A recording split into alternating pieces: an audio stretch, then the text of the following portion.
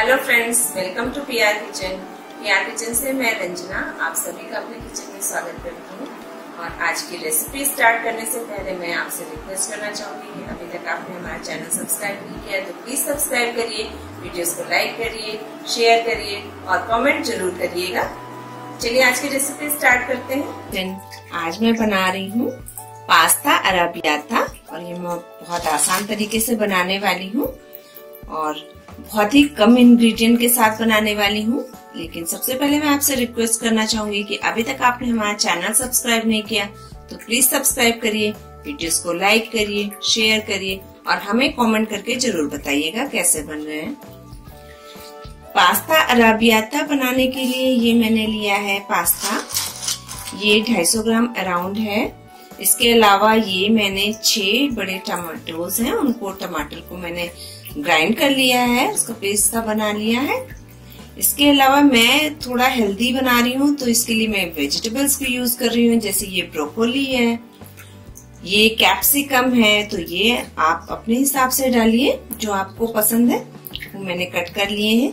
इसके अलावा ये है, देखिए क्रश्ड काली मिर्च है थोड़ी सी कुटी हुई, लहसुन कटे हुए चिली फ्लेक्स सॉल्ट इसके अलावा मैं यूज़ कर रही हूँ ये फ्रेश बेसिल लीव्स और अगर आपको फ्रेश नहीं मिल रही है तो आप ड्राइड भी यूज़ कर सकते हैं, वो बहुत इजीली मिल जाती है। तो सबसे पहले मैं एक पैन चढ़ा रही हूँ। मैं पैन चढ़ा के और इसमें मैं डालूँगी बटर ये मैंने पैन चढ़ाया और इसमें मैंने थोड़ा सा ये बटर डाला है। इसके अलावा मैं ये वर्जिन ऑलिव ऑयल भी इसमें डाल रही हूँ थोड़ा सा दो चम्मच। और इसको मैं गरम करके, इसमें जो मैंने लहसुन कट करके रखे हैं, इनको मैं डाल के जस्ट सॉटे करूँगी। मुझे इसको लाल नहीं करना है। इसे सॉटे करना।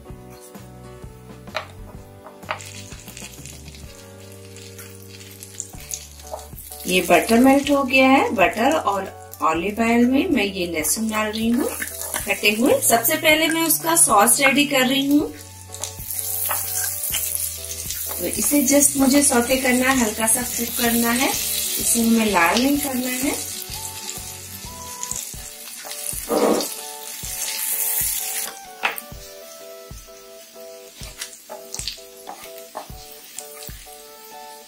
ये लहसुन हमारा हो गया है। तो इसमें मैंने ये जो टमाटोस पेस्ट बनाया, उसको डाल दिया। इसको मिक्स करना है और टेस्ट अकॉर्डिंग मैं इसमें नमक यूज़ कर रही हूँ। ये नमक, आप टेस्ट अकॉर्डिंग डालिए। इसके अलावा मैं ये चिली फ्लेक्स डाल रही हूँ। इसी से ये हमारा सॉस जो है वो अराबियाता बन रहा है। नहीं तो ये पोमोदोरो बन जाएगा। ये डालिए चिली फ्लेक्स और इसको भी मैंने मिक्स कर दिया है।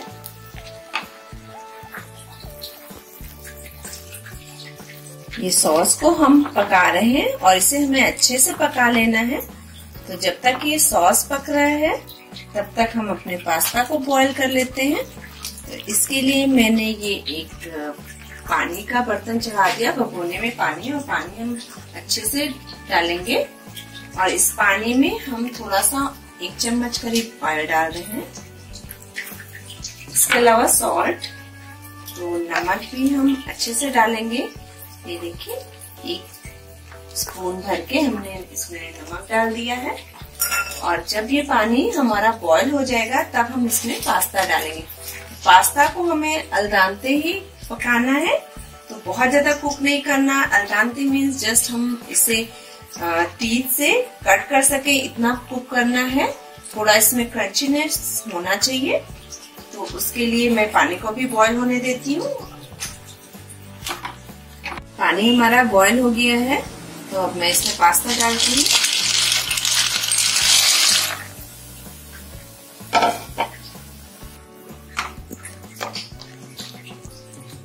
ये सॉस ऑलमोस्ट हमारा रेडी है। तो ये जो बेसिल लीव्स हमने ली थी, इनको भी हमने कट कर लिया और इसको भी मिक्स कर देंगे।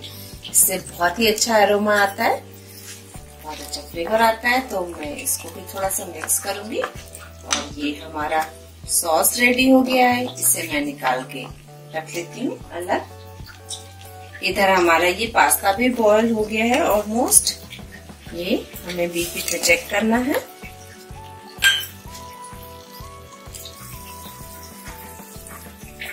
सॉस हमारा रेडी हो गया है, इसको मैं अब अलग निकाल के रख लेती हूँ।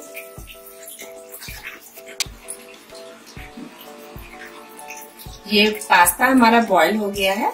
हमें हल्का जानते ही रखना है तो वो आप नील से कट करके चेक कर सकते हैं, या ऐसे स्पून से। टीथ में आप जब दबाएँगे तो आपको क्रंचीनेस उसका पता चलेगा। तो अभी मैं इसे एक पानी से छान के निकाल लेती हूँ। अभी मैंने दोबारा से ये पैन चढ़ाया है, और इसमें जैसे मैंने स्टार्टिंग में डाला था, थोड़ा सा बटर और थोड़ा सा वर्जिन ऑलिव ऑयल और इसको मैंने ये थोड़ा सा हीट कर लिया है, गर्म हो गया है। तो अभी मैं इसमें डाल रही हूँ वेजिटेबल्स जो मैंने कट की थी ब्रोकोली एंड कैप्सिकम तो वो मैं डालूँगी। इसको भी मुझे बहुत कुक नहीं करना है। ब्रोकली थोड़ा पहले डालिए तो ज़्यादा अच्छा है। मैंने साथ में डाला और कैप्सिकम जल्दी गलते हैं तो इन्हें थोड़ा बाद में डालिए। इन्हें हाफ़ कुक करना है मुझे।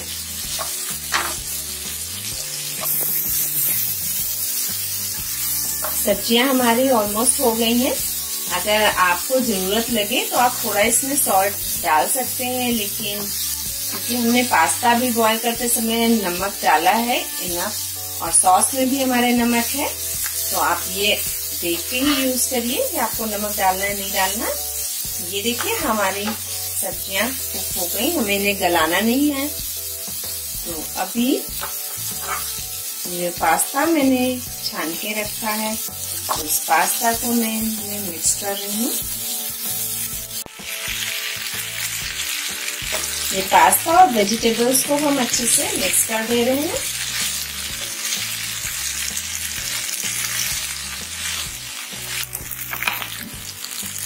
सब्ज़ियाँ अच्छे से मिक्स हो गई तो जो मैंने ये सॉस रेडी किया था, वो सॉस हम डाल दे रहे हैं। इसको भी मिक्स कर देंगे।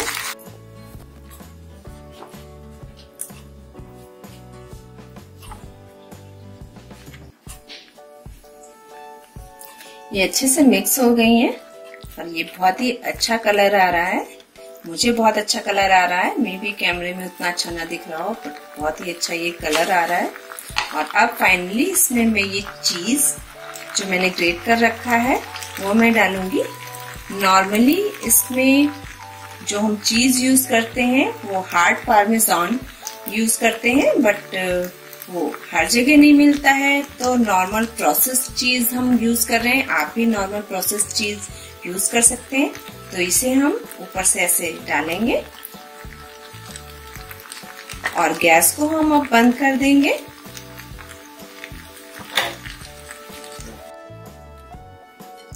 ये चीज़ डाल दी और अब ये जो हमने क्रश करके काली मिर्च रखी थी तो इसको भी मैं डाल दूँगी। इसमें स्प्रिंकल कर दूँगी और ये हमारा